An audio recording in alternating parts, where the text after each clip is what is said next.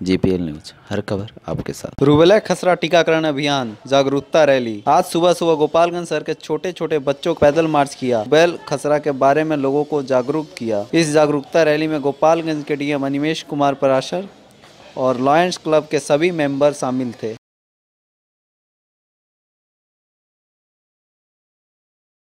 IT park, ज़िले का एकमात्र कंप्यूटर संस्थान, जो नाइलिट भारत सरकार द्वारा मान्यता प्राप्त है। सीसीसी और ओ लेवल में नामांकन प्रारंभ है, जो सभी सरकारी नौकरी के लिए अनिवार्य है। बिहार सरकार के कुशल युवा प्रोग्राम में नामांकन प्रारंभ है। पता यादवपुर रोड, गोपालगंज। रूबेला और मिजल्स बहुत ही खतरनाक बीमारी है।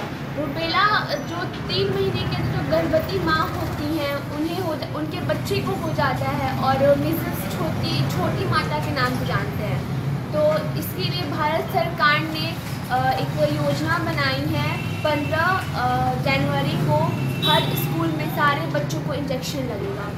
इंडियन और जर्मनी दवाओं का अनूठा संगम। Gopalganj homoeo hall. होम्योपैथिक दवाओं की शुद्धता की guarantee. Gopalganj homoeo hall. Ghoshmor दरगाह road Gopalganj. Mobile number eight nine six nine zero seven one double zero two. Parmatma Singh district chairperson lions club. ये rubella और